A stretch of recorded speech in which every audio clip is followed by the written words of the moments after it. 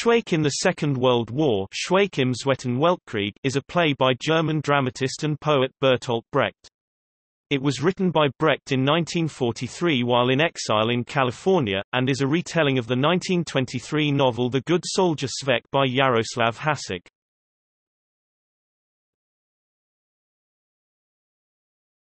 Topic. Background Schweik in the Second World War is set in Nazi-occupied Prague and on the Russian front during World War II. In a summary written for potential composer Kurt Weill Hanns Eisler, ultimately, became Brecht's chief musical collaborator for the work. It was written, The Good Soldier Schweik, after surviving the First World War, is still alive. Our story shows his successful efforts to survive the second as well.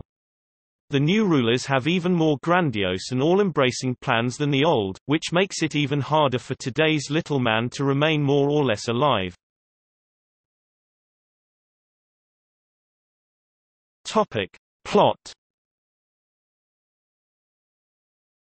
As Schweik is forced into war, he manages to survive while overcoming dangerous situations in Gestapo headquarters, a military prison, and a voluntary labor service. The ending finds Schweik lost in a snowstorm near Stalingrad. He meets an equally lost and bewildered Hitler, whose path is blocked by snow, frozen corpses, the Soviet army, and the German people. Finally, Hitler does a grotesque dance and disappears into the snow.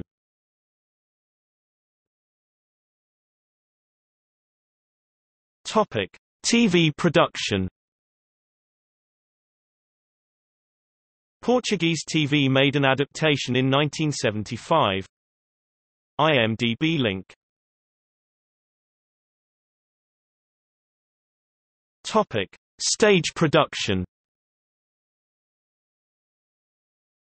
Schweik in the Second World War was not staged during the lifetime of its writer Brecht, though it has been staged innumerable times across the world in various languages, including Bengali, since the 1940s. Red Theatre Chicago staged it in October 2012 starring Kevin Cox. It was directed by Aaron Sawyer with original music composed by Michael Evans.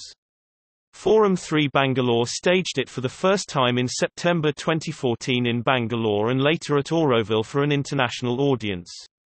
Directed by Ranjan Ghoshal, the original music recreating the Eastern European melodies of the 1940s was composed by Sudipto Das, with Sihi Kahi Chandru playing Schweik.